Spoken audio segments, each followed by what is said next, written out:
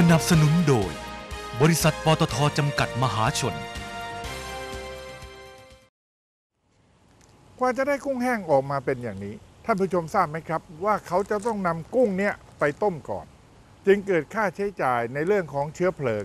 แต่กลุ่มแม่บ้านเกษตรที่บ้านทุ่งรวงทอง จังหวัดตรัง เขามีวิธีลดต้นทุนลงไปได้ ไปดูกันครับ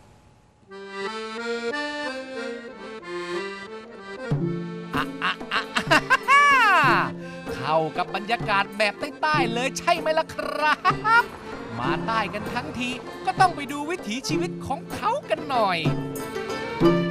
นี่เลยครับ ไม่ว่าจะเป็นการทำแผ่นยางพารา หรือหากุ้งหอยปูปลาโดยเฉพาะกุ้งนี่เลยครับ เอาไปทำกุ้งแห้งได้ เราไปชมกันได้เลยครับ เมื่อได้กุ้งมาแล้วก็ล้าง คะล้างให้สะอาด แล้วก็เตรียมทีไว้ให้เด็ดน้ำให้น้ำร้อนเดือด แล้วก็ใส่ถาใส่ถาเสร็จตรงนี้นั่นก็ชั่งน้ำหนักกุ้ง ถ้า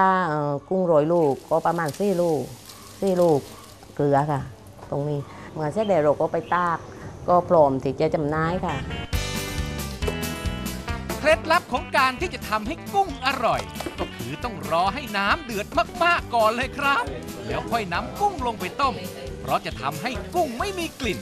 และเตาที่เราเห็นเมื่อสักครู่นี้ ก็คือเตาฟืนชีวมวลที่คุณเหมือนใจ ใช้ในการต้มกุ้ง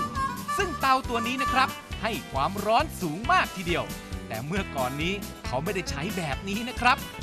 เขาใช้ก้อนหินใหญ่ๆ 3 ก้อนมาวางไว้ เพื่อทำเป็นฐาน แล้วก็ก่อไฟโดยใส่ไม้ทั้ง 3 ด้าน ความร้อนก็จะกระจายไปรอบๆด้าน ซึ่งทำให้สิ้นเปลืองฟืนมากๆ แถมคนที่ต้มกุ้งก็ยังร้อนอีกด้วย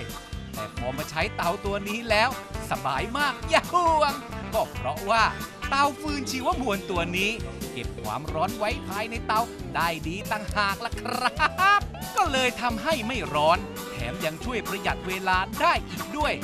จากเมื่อก่อนต้องต้มกุ้ง 30 นาที แต่ตอนนี้เหลือแค่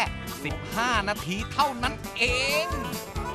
ปตทเข้ามาช่วยดูแลช่วยเหลือ ตรงนี้นะคะเป็นเตาชีวม่วนโดยถูกต้องเลยทำให้ทางกลุ่มนี่ประหยัดลงเปอ่อ80%ค่ะ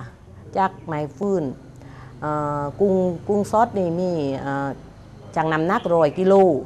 ใช้ฟื้นเพียง20กิโลค่ะ ซึ่งตรงนี้นะคะก็ทำให้กลุ่มนั้นจากที่ว่าเราซื้อฟื้นนี่เดือนละ4,000บาท ก็เลื่อลงมาแค่2,000บาทค่ะ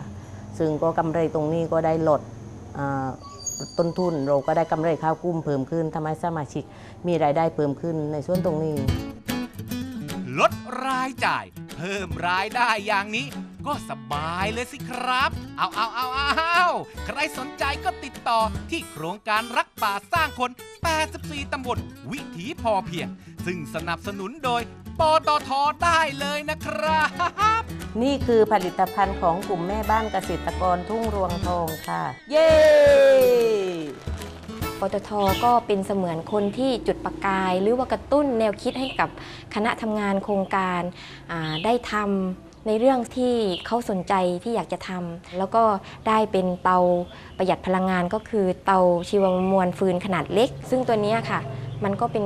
การที่ทำให้เราสามารถประหยัดไม้ฟืนในชุมชนของเราได้ประมาณ 50%หลังจากที่มีการพัฒนารูปแบบของเตาจนกลายมาเป็นเตาชีวมวลอย่างนี้แล้วทำให้สมาชิกมีรายได้เพิ่มขึ้น เพราะต้นทุนในการผลิตลดลง แถมยังลด การใช้พลังงานลงอีกด้วยครับ